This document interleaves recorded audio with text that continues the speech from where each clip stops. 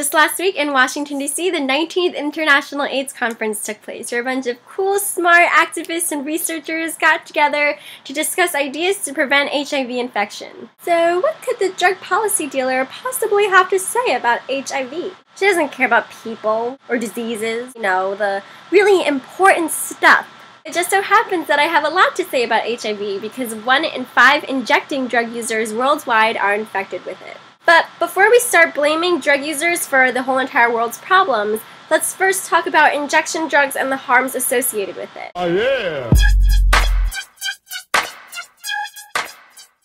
First off, let's make this clear. With any kind of drug use, there is always a risk of harm. But the degree of harm is on a spectrum. Let's take alcohol as an example. You hear a lot about the worst case scenario overdose deaths, drunk driving, passing out, and having to get your stomach pumped. But there is a best case scenario, which would look like safe and responsible drinking, staying hydrated, getting home safely, and ideally waking up the next day without a hangover. The difference between the best case scenario and the worst case scenario is whether the drug user is doing everything they possibly can to reduce the number of negative consequences to the very minimum. The professional term for this magical idea is called harm reduction, reducing the harms of a dangerous activity through preparations and actions, such as putting on your seatbelt before you drive and checking your mirror before you change lanes. Get it? And the same idea can be extended to injection drugs like cocaine, heroin, and Oxycontin. These drugs can also be smoked or snorted. Different methods of taking drugs also have different degrees of risks and harms and can also be visualized on a spectrum. Drug injection is the most harmful because the risk of overdose is the greatest. The drug goes directly into the bloodstream, and with an illegal market, the user can never really be sure of the concentration of the drug that they're injecting. It's also a pretty common practice to share needles, which increases the risk of spreading HIV and hepatitis C. But even though on the spectrum drug injection is the most harmful method, there are still ways to reduce the risks of this method through a harm reduction strategy. This harm reduction strategy is called needle exchanges, and it prevents against the spread of HIV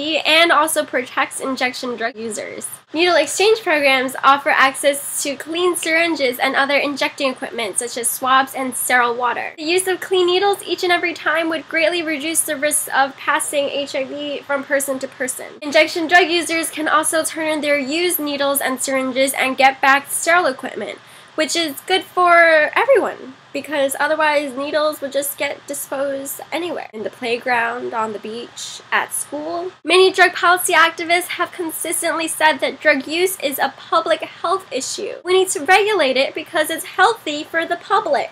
These programs also offer safer sex and drug education. Believe it or not, injection drug users still have sex lives. And so the sexual partners of injection drug users typically have an increased risk of contracting HIV and then ultimately passing it on to their children. Which is why education is so, so, so important. These services have been proven to get users to stop and reduce drug injections. And for people who still use, they can get them to use more safely through the proper tools and education. Doesn't that sound awesome? Well, unfortunately, in the world of drug policy, there is always bad news.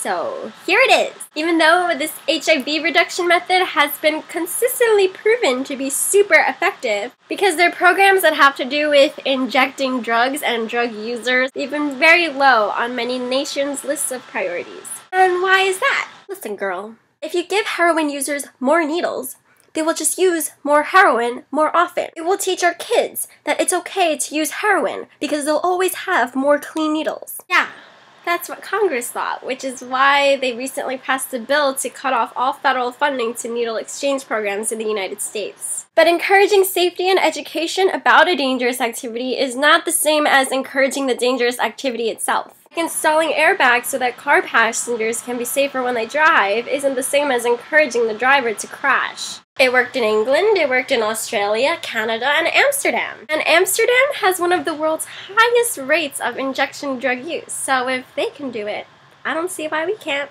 Amsterdam also once had one of the worst drug associated HIV epidemics. Today, HIV incidence amongst injection drug users in Amsterdam has fallen to almost zero. See what happens when you don't care about drug policy? Prevention is cheaper than treatment. Just like preventing someone from using drugs in the first place is cheaper than treating someone for drug addiction, preventing someone from contracting HIV is cheaper than treating someone for the virus for the rest of their life. The point is that with a drug as dangerous as heroin and with a method as dangerous as drug injections, there are still better ways to handle the topic than incarceration and ignorance. By staying educated, guys, you can stay sensible.